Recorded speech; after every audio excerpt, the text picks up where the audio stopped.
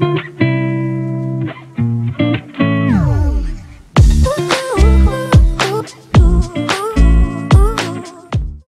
5. sınıf öğrencilerimiz hepiniz hoş geldiniz. Bugün sizlerle birlikte 5. sınıf Türkçe 1. dönem 2. yazılı sorularıyla karşınızdayız.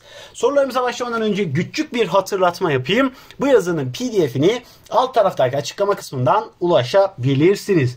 E vakit kaybetmeden birinci sorumuzda başlayalım mı? Hadi başlayalım.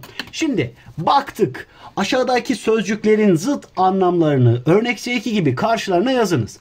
Beyaz, siyah. Yani ikisi de biri sağa giderken biri sol. Resimdeki gibi farklı. O zaman tembelin zıttı ne olacaktır? Çalışkan olacaktır. Sınıfta baktın tembel bir çocuk var. Bunun zıttı ne olacak? Çalışkan olacak.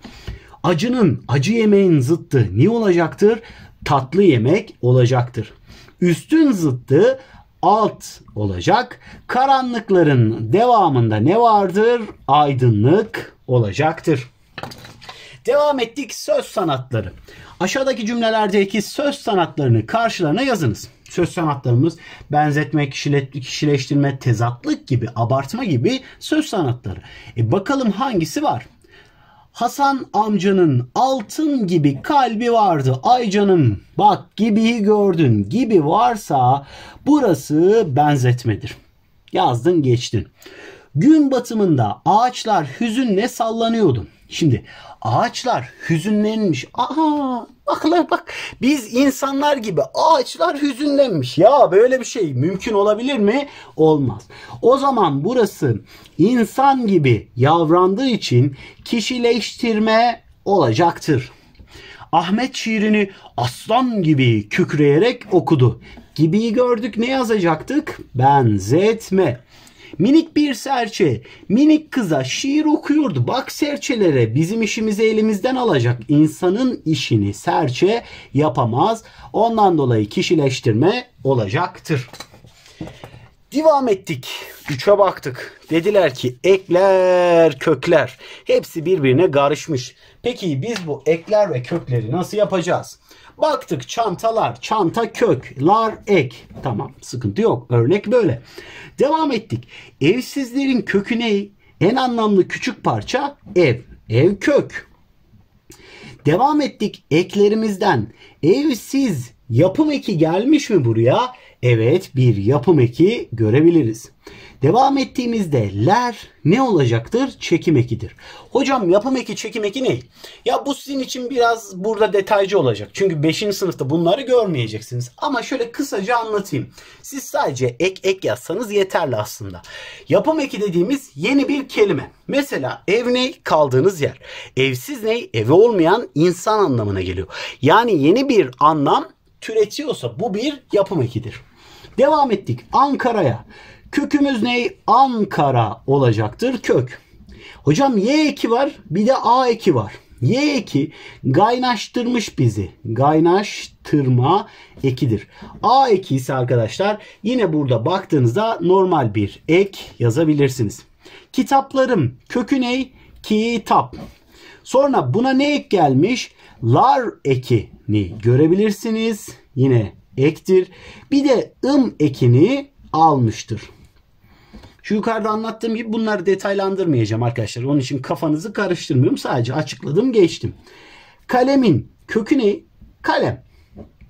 Kimin kalemi? Senin kalemin. Bu da yine in eki olacaktır. Geldik dördüncü ve uzun uzun bir sorumuza. Metin okumayı sevmiyorum ama Milli Eğitim diyor ki ya bu öğrenciler metin okuyacak. O zaman biz de okuyalım. 4, 5, 6'yı buna göre yapacakmışız. Uzun zaman önce bir ülkenin çok zalim bir kralı varmış. Halkı bu kralın zulmünden o kadar çok bıkmış ki artık dua etmeye başlamışlar. Bir hafta sonra bir mucize yaşanmış ve kral hasta olmuş. Allah rahmet eylesin. Halk duaları kabul oldu diye sevinçten adeta göbek atmışlar. Bayram havası yaşamış. Kimse kralı iyileştirmek için bir şey yapmıyormuş. Adam zalimmiş. Ne işi var? Bu duruma kralın kızı çok üzülüyormuş. Kız ferman göndererek ülkesindeki herkesi saraya toplamış ve onlardan babasının adına af dilemiş, özür dilemiş ve kendisinin çok çalışarak hatalarını affettireceğini anlatmış bir bir. Halk bu duruma çok sevinmiş ve büyük bir alkış kopmuş demiş yaşasın Allah razı olsun. Kısa zamanda babasını tedavi edecek bir şifacı da gelerek kralın tedavisini üstlenmiş.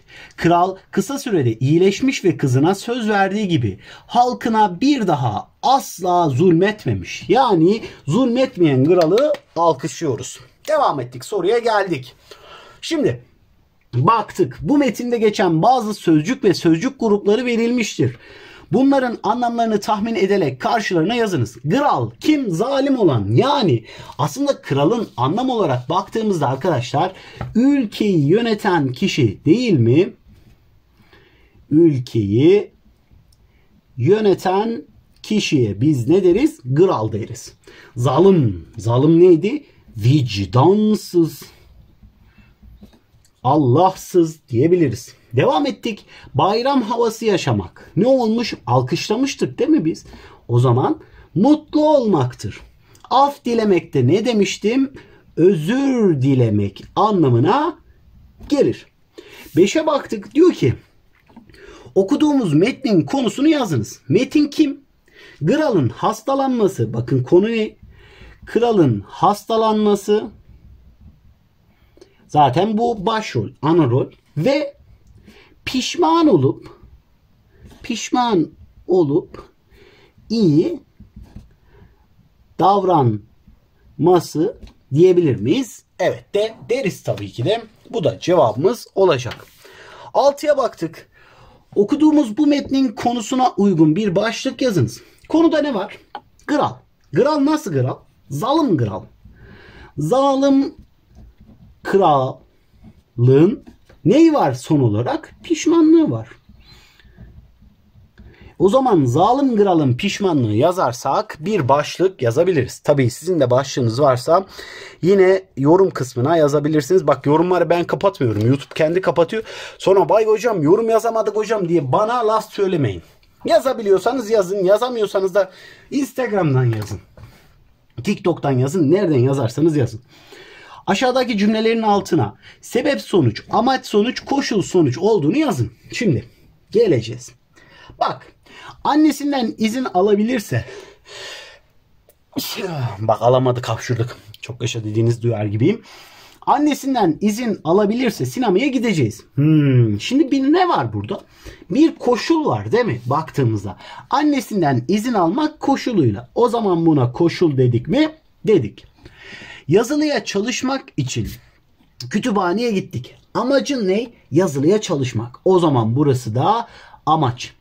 Kitabı evde unuttuğu için okuyamadı. Sebebi neydi ki? Kitabı evde bak niye okuyamadı? Sebebi neydi ki? Kitabı evde unutmasın.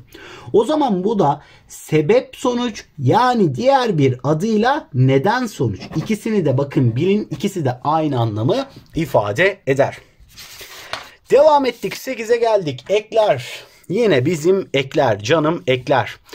Şimdi yapım eki diye burada ayırmışız. Tekrardan yine yapım eklerine bakacağız. Aşağıdaki sözcüklerin kök ve yapım eklerini örnekteki gibi gösteriniz. Kitaptan kitaplık olmuş. Kitap tek, kitaplık nedir? Kocaman bir yerdir değil mi? Şöyle kitapların konulduğu yer. Görgünün kökü ne? Görmekten gelir değil mi? Kök. Buna görgü eki eklendiğinde ne vardır? Gü eki yapım ekidir. Kömürlük. Kökü ne? Kömür. Gara gara kömür değil mi? Bu kök. Lük ekini, lük yapım ekini alınca yeni bir yer haline gelmiş mi? Gelmiş. Hatta bina haline gelmiş. Parasız. Kökü ne? Para. Ah işte benden bahsediyor. Sız ekini alırsa ne olur? Yapım eki almış olur. Sevgi. Aa bak burada da benden bahsediyor. Kökü se. Devam ettiğimizde gi yapım ekini almıştır. Ahanda bir metin. Yine. Bu metinin türü nedir? Yazınız. Bir sabah ailecek İstanbul'a gitmek için yola çıktık. Herkes gibi ben de çok heyecanlıydım. İstanbul'da göreceklerimi düşündükçe daha çok heyecanlanıyordum. Akşam saatlerinde İstanbul'a geldik. Taksim'de bir otelde kalıyorduk. Akşam yemeğini yedikten sonra hep beraber Galata Kulesi'ne çıkmaya karar verdik.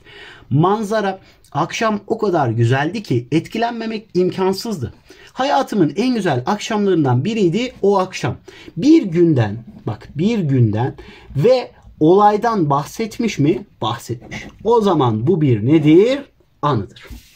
Çalışkan olmakla ilgili hikaye yazınız. Tabii arkadaşlar bu size ait. Çalışkan olmakla ilgili hikaye size ait. Burada benim söyleyebileceğim kısım şudur. Noktalama işaretlerine kesinlikle dikkat edin. Puanınızın belirleneceği kısımdır. Ve burada arkadaşlar özel isimlere de yine dikkat edeceksiniz ve büyük yazmanıza dikkat edin. Sorularımız bu şekilde. Umarım güzel bir anlatım olmuştur. Bu sınavdan beklediğimiz not bir cızgı, iki yuvarlak, kocaman kocaman gülen gülen yüzler almanız dileğiyle. Bir sonraki ders görüşmek üzere. Kendinize iyi bakın. Hoşçakalın.